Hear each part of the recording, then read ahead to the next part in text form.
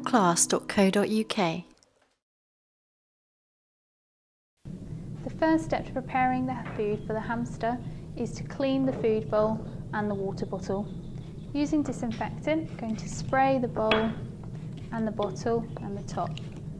The disinfectant has been pre-diluted according to the recommended guidelines. After two minutes of contact time with the surface of the bowl and the bottle, I can then rinse these items thoroughly. I want to make sure that I remove all of the disinfectant.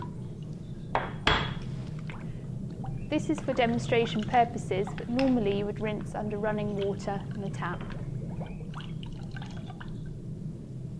Then the last step is to dry these before preparing the food. I'm going to use this bowl to feed the hamster. This is a shallow ceramic bowl. It's quite heavy, so the hamster who's likely to get inside the bowl won't be able to tip it over. And there's no cracks or chips in the top, so it won't injure the hamster in any way. So I need to place this onto the scales, making sure that the weight is at zero. Then I can add the hamster mix. This is a small animal mix. This is required for all small rodents. I need to give this Syrian hamster 10 grams. Adding to this diet, I'm going to give four mealworms. This is going to provide extra protein for the hamster. The hamster is an omnivore, so it eats plant and animal meat, um, and so we need to give it those mealworms. The extra part to the hamster's diet is to offer a small amount of fruit and veg. It needs to have a variety of different fruits and vegetables, but only four to five pieces per hamster per day. When you chop these, make sure you're keeping the pieces really small, no larger than your thumbnail. So,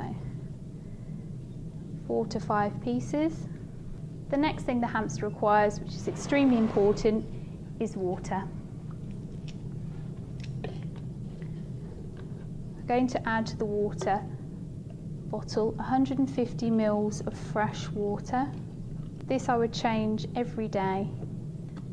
Add the top, and I want to check that this is working correctly. It's important when using a water bottle and tip like this that you check on a daily basis that it's giving a small amount of water.